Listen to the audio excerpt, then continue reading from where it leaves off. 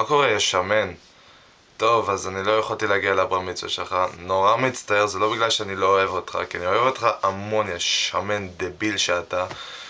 טוב, מה להגיד, כבר בן 13, איזה גדול, עוד מעט יש כל מיני כוסיות רצות אחר, אחריך, כמו שזה לא קרה לי. טוב, מה לעשות, אני לא כזה חתיך כמוך, אבל אני מנסה. Uh, תעשה לי טובה, תגיד שלום לכל המשפחה שלך שהם שם ואני לא שמה. אני ממש אוהב אתכם, מתגעגע אליכם, גם לך ניר. Uh, מקווה שתבוא בקרוב להולנד, או אני אבוא לארץ ונעשה איזה משהו ביחד, לחגוג עוד הפעם את בר מצווה שלך. Uh, טוב, אז למה אני לא שמה?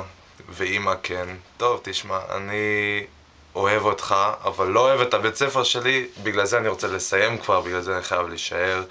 בחינות, כל מיני שטויות, אין מה לעשות, זה החיים. וטוב, מקווה שתהנה, ו... טוב, אני מקווה שהם עושים לך קצת פדיחה כמו שהם עשו לי ולגיא ול... ולטל ולעמית. אז טוב אחי, תהנה ונדבר בקרוב. יאללה, אני אוהב אותך, ביי.